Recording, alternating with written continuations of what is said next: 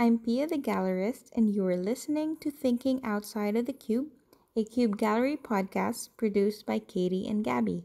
Hi, this is JT Gonzalez, curator of this show, Camping Trip 2.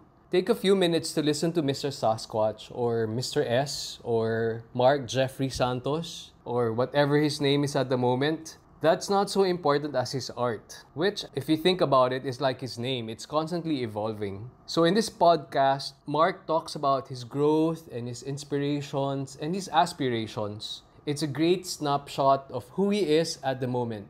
So, listen and enjoy. Thank you. Hi guys, my name is Mark Jepoy Santos. I'm an artist based in Manila. Okay, so our first question is Do you remember when you first became interested in art? And do you think it started at a young age or was it, what is it a little bit more recent? I think it's a little bit more recent uh, because before I really wanted to be an animator. I ended up uh, studying film, so it's, it's pretty far away. so, yeah. But after uh, after a few projects of film, um, I realized that I can't work like that. It's for me, it's so stressful. So I kind of went to a di- different path. Do you have any art influences, whether that's from film, animation, or art Ah, yeah, yeah, yeah. There's I have a lot of influence. Um, I was one of the kids who grew up watching anime in the morning and after school. So, yeah, being exposed to that, uh, constantly being exposed to that kind of information, uh, really engraves in your visual library. So I guess every time I I'm thinking of a concept, it you know I get from that visual library. So yeah, so it's from anime and and then recently, um, as as I've said before in the previous podcast, uh, I'm heavily influenced in Juxtapose magazine, especially the artist Jeff Soto. So yeah. Is there like any particular anime like movies or films that particularly you, you draw upon when Mm. you paint? Um, when I was a kid, uh, I really liked Dragon Ball Z and uh, Samurai X, Rurouni Kenshin, if you know that. yeah. Well, I'm I'm not really a hardcore anime fan.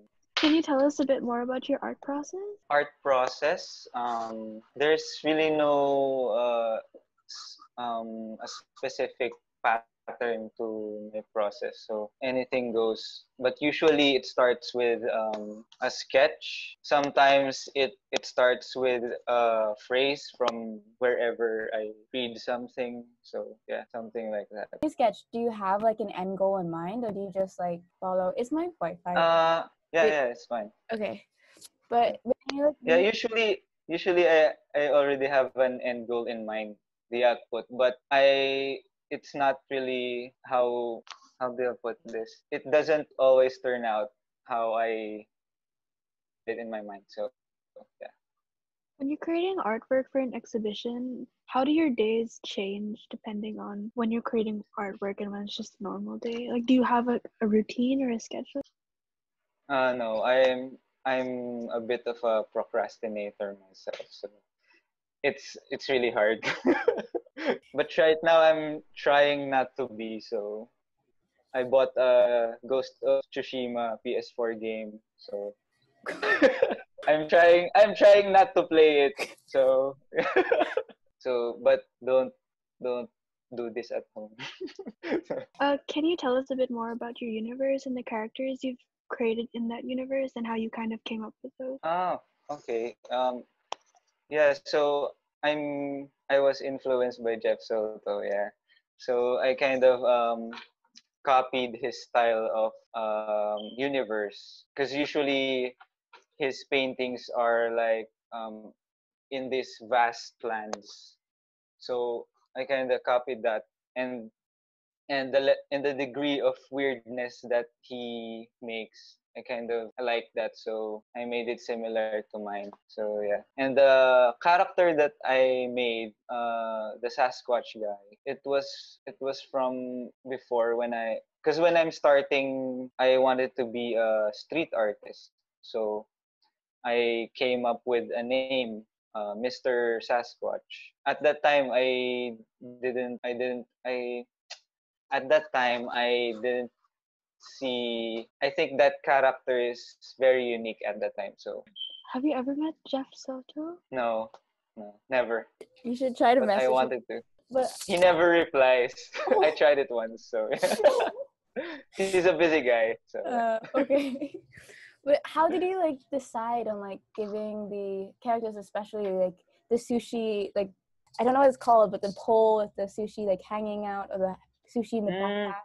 yeah, I just like sushi, so I put them with all of my work with the, with the backpacks and the pole and stuff. Um, I'm kind of uh, inspired by traveling. Every time I work uh, on a painting, it always depicts that as if he is traveling. Yes. So yeah, It gives you that feeling of wanderlust. I feel like. yeah, yeah, yeah, yeah. Yeah, I call him. I have a sculpture there right now. It's called the Wanderer.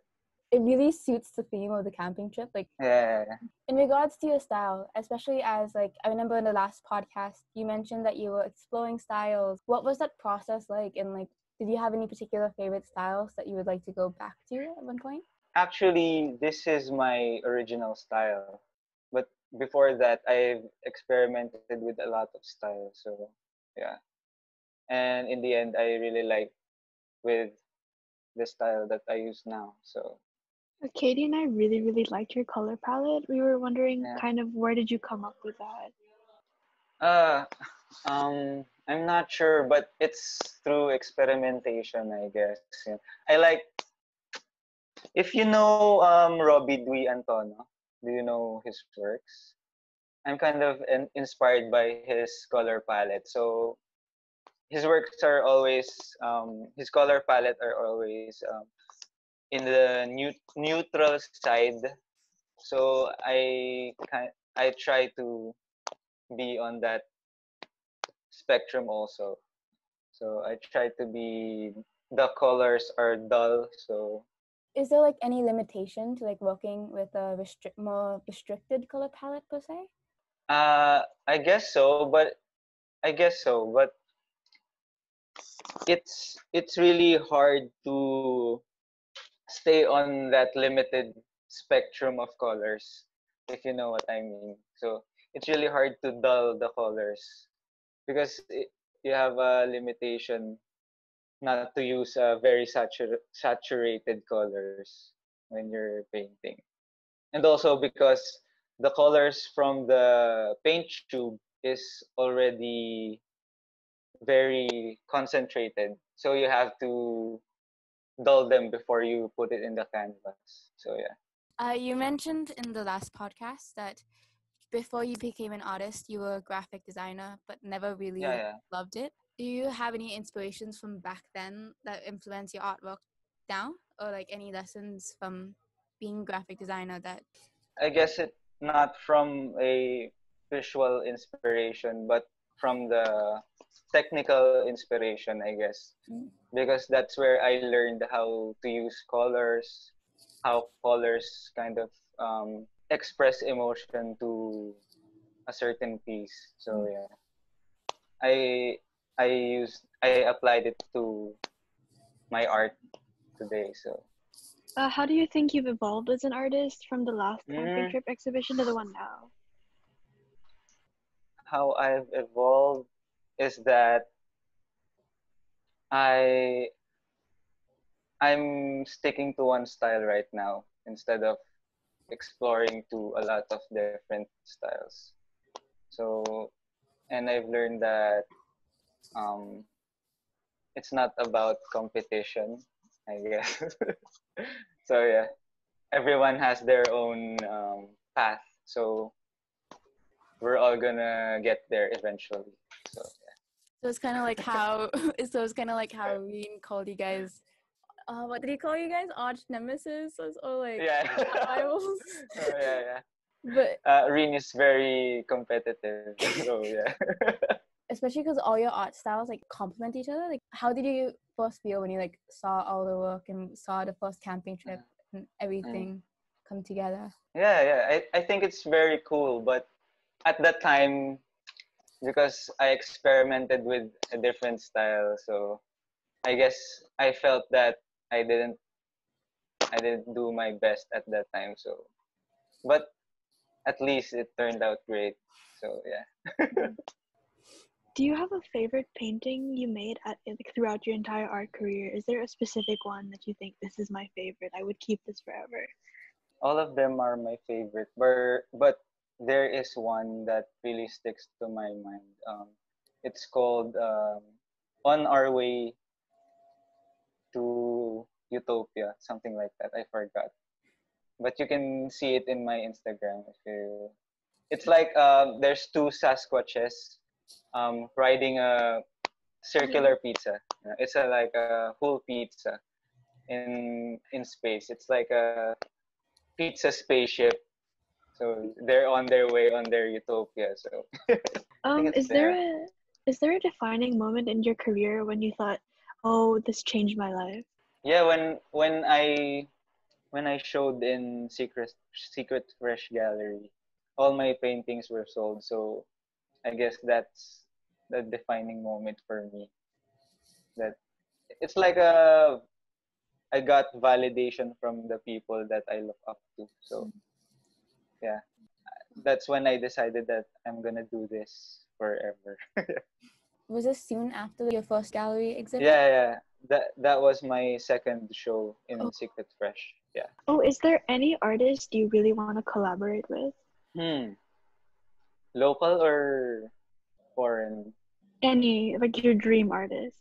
dream artist? Of course, uh, Jeff Soto and uh, Robbie Dwi Anton.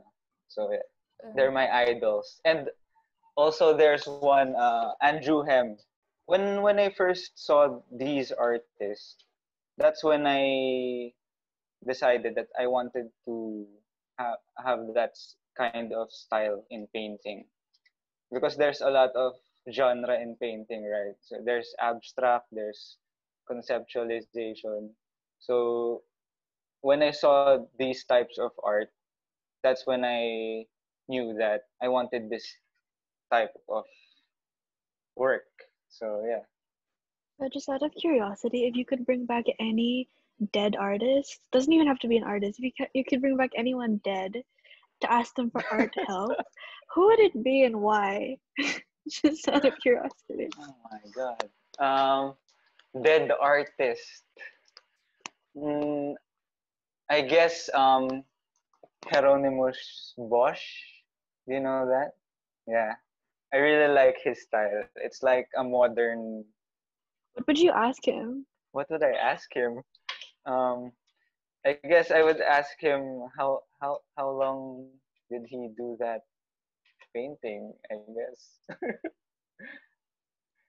because I think his paintings are really really took a long time to finish because it's so detailed. Where do you see yourself in 10 years? Where do I see myself? I guess I wanted to penetrate the Western art scene, so I wanted I wanted to be known there in in the states, and um, yeah, my goal is to be on the cover of Juxtapose Mag. Yeah. yeah, but that's going to take a long time and a lot of hard work. So yeah. Do you have any advice for anyone who might be thinking of starting an art career, whether they're young or old?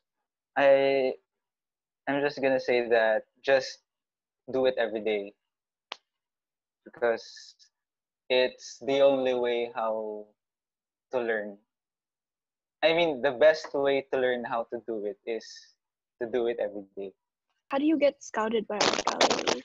Um, after my first solo show, uh, Carlo was there. Carlo was like a partner owner of uh, vinyl that time, so he invited me to have a show in their gallery. So that's what happened. How do you feel about the exhibit being moved to Zoom? Um, not really excited about it, but it's okay. What's your cat's name? They're Kamir and Kamon. So it means come here, come on, and let go. Let's go. So yeah. Oh, So uh, whenever I call them, come here, come here, come here, come on, come on.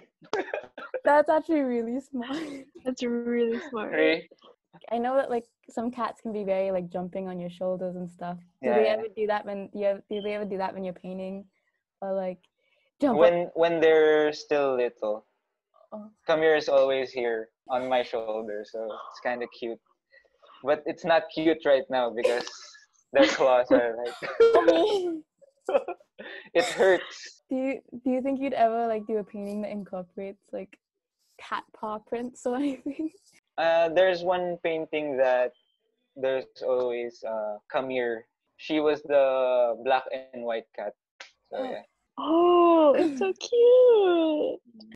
Thank you so much again. We're sorry for the Thank cat you. obsession. I'll send you a picture of my cats. so- Please. Finished already? Don't worry, we have more episodes coming up.